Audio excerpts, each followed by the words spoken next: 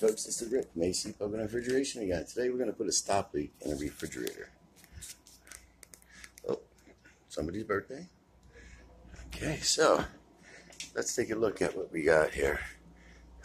We've got an LG bottom freezer. Somebody was here before, put Freon in it, said it needs to be checked, leak, stop put in it. So here's what we're going to do. We're going to go ahead and run you through the procedure. It's already got a service valve on it. We're to hook up to the Freon. Okay. Turn it on, purge out the air.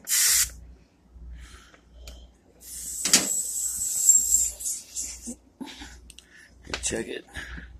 And yeah, it's in a vacuum.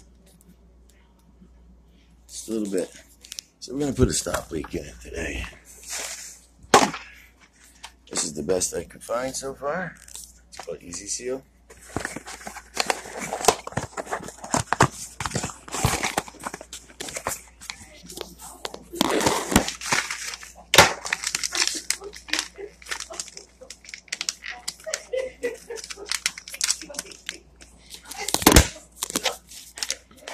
Okay, so it comes in this package top off here.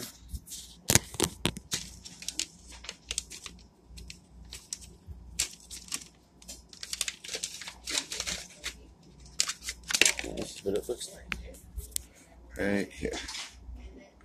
So this is the procedure. It goes on to the low side. Screw this on, like so. Okay, then you put your gauges on here, like so. Purge the air out. A little bit of pressure in there. And there it goes. And see, it disappeared into the system. So this is how you add a stop leak. And this should bring us up above the zero. It settles down. And that will hopefully stop the leak. It's going down, down about 18. Should go down around two above zero. And that would be a fine charge. And we check here, we're getting some heat on the condenser. Okay, that's a good thing.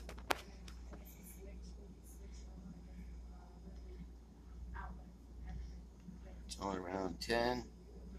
Still coming down.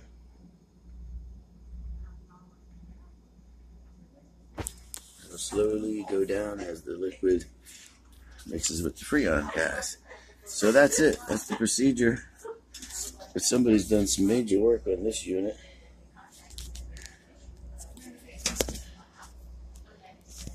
It has a high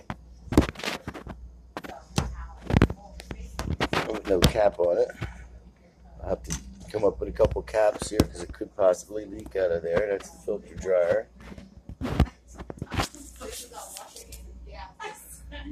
So we're about on eight. It's coming down slowly.